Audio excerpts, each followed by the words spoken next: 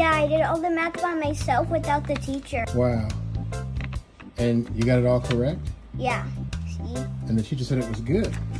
Uh, And what'd you get for getting all that done by yourself? the good smell sticker that's bubblegum. So you got a scratch and sniff, huh?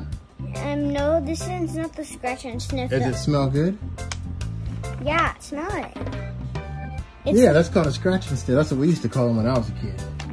You scratch it, and then it, it- it's a stronger scent. Scratch it. That's one. Yeah, but this one, I have to scratch it so much. This one's the scratch. Okay, bring it over here too. Come over here. Show me that one too. So you that's a scratch and sniff book marker? Yeah. Even though it's, you did a great job. Wow. And what's the bottom say? Keep reading. So look at that. You are awesome. You know that? hmm Well, congratulations on your math and your reading and you getting a good scratch and sniff on your work that you did and for getting, you did a great, a great, oh, it says great job. You did a great job. All right. Well, congratulations right here.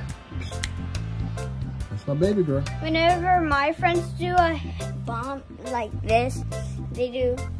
Oh, okay. You're trying to, so, So- you're trying to school me on it? Okay. they did this, then I Okay. do this, Okay. then you do. So show me one more time. So one, two, three.